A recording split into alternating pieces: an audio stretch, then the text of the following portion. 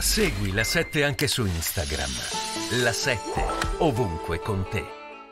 È insopportabile. Chi? Cioè, così, eh, Chi è insopportabile?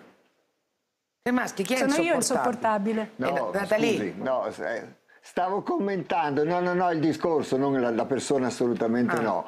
No, è molto grave quello che viene detto, se posso dirlo. No, no, cioè, però beh, non volevo qua, interrompere, quindi libertà è- d'opinione è un commento massima, che mi è venuto Cremaschi. fuori dall'anima, ecco. Cos'è insopportabile? Mi spieghi bene però. No, ecco, voglio dire che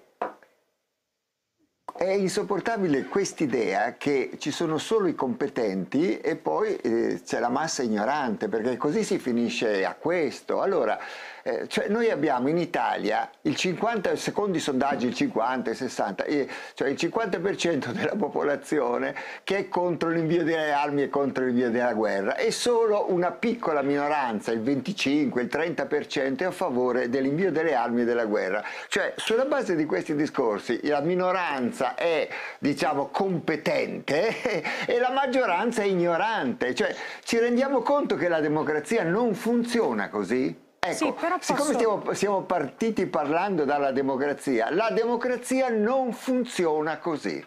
La democrazia funziona sul principio che anche la persona più ignorante, che non ha studiato, che non ha fatto le scuole alte, che non ha frequentato il, eh, l'ISPI o tutti gli istituti Però anche lì, Harvard, scusa tutti- ma Cremaschi, il come ha detto che il crinale è scivoloso, futuro. anche il tuo crinale è scivoloso, perché così vale l'uno vale uno, siamo tutti uguali, possiamo tutti fare tutto, e invece io penso che una cosa No, è la è libertà la di democrazia, pensiero, di, eh, no, ma- beh, ma- una ma- cosa ma è la libertà di posso- pensiero e di opinione, Certo. una cosa Alla è fine si formano le opinioni. Sì, ma, Le- le le- Ma io opinioni faccio